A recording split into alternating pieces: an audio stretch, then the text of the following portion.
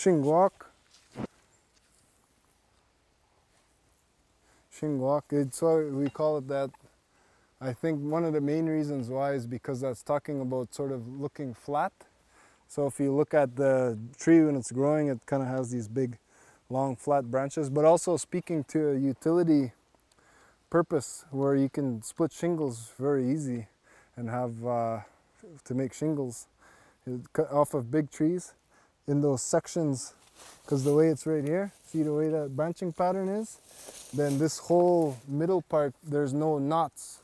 And so you can when the tree grows really big there's no knots in that section since when the tree is very young. So then you could split it and make shingles. Shingwak that's what that word is describing